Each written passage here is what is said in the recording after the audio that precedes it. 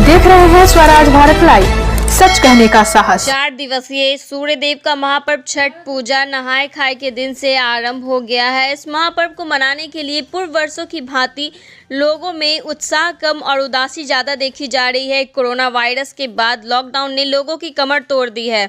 देश और बिहार की पारंपरिक पूजा, दुर्गा पूजा, धनतेरस, दीपावली, छठ पूजा की खरीदारी पर इस लॉकडाउन का बहुत भारी असर देखने को मिला है। गया ज़िले के विभिन्न कस्बों शहरों में फलों की दुकानें सजी लेकिन खरीदारी करने वाले छठ व्रतियों की संख्या भी कम देखी जा रही है जिसके कारण दुकानदारों में भी उदासीनता काफ़ी है जबकि इस बार फलों का दाम भी पिछले वर्ष की तुलनात्मक कम बताया जा रहा है। लोगों ने इस बारे में क्या कहा सुनिए। क्या असर दाम बताइए। लॉकडाउन के वजह से इन साल बहुत जैसे आदमी लॉस में जाएगा।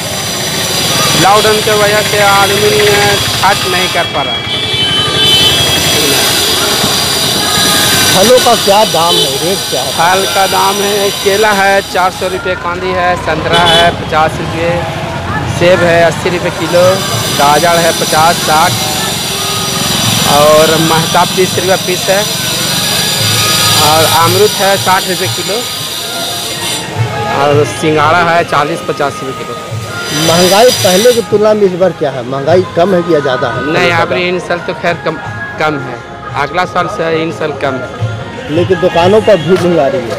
भीड़ नहीं आ रही हाँ। क्या उम्मीद थी आप लोगों का? हम लोग को तो उम्मीद था कि खैर धान का फ़सल इन साल बहुत अच्छा हुआ।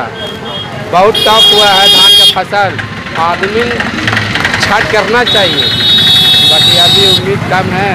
बिक्री नहीं ना तो हम लोग का एक गाड़ी है ना आठ नौ माल निकल जाता था। अभी चार न भी नहीं निकला। क्या लगता है कि बिक्री होने की उम्मीद है? अब देखिए उम्मीद कल का। कल का उम्मीद देखिए अब कैसा रहता है। जी? नाम बताइए। मेरा नाम मोहम्मद अख्तर हुआ।